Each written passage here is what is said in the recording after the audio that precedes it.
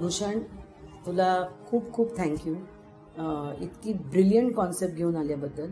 काय आईबद्दल सगळेच आपण सगळीकडे बोललं जातं. पण बाबांबद्दल खूप कमी बोललं जातं. आणि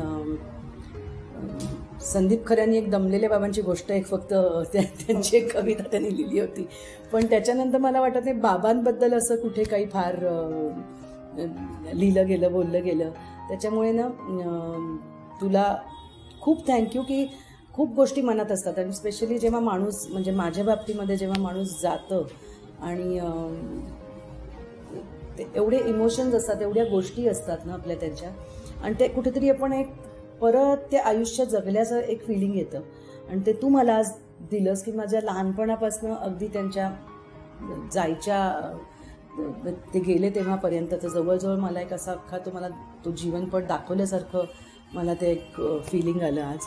त्याबद्दल तुला खूप खूप थँक्यू आणि तुला तुझ्या पुढच्या सगळ्या अशाच एक नवीन नवीन काही काही गोष्टी घेऊन ये आणि आम्हाला त्याचा भाग बनव आणि thank you thank you so much madam आणि माझा बाबासाठी म्हणजे तुम्ही आम्हाला एवढा वेळ दिला आणि बाबांबद्दलचे तुमचे मत या ठिकाणी मांडलात. तर ह्याच्यासाठी म्हणजे मोठी गोष्ट नाही आहे जी आपल्या आईवडिलांसाठी आपण घेतो वगैरे. आणि ही तुम्ही स्वतःच्या मनातून जे स्फूर्तपणे तुमचं बाबांबद्दल विषय सगळे मांडलात आणि आम्हाला खरंच चांगला वेळ दिला. त्याच्यावर खूप खूप धन्यवाद. तुझा विषयच असा होता ना? माझा बाबा मला वाटतं कोणी तुला वेळ देईल असं प्रत्येकाला आपला बाबा प्रियच असतो. Thank you so much thank you so much thank you thank you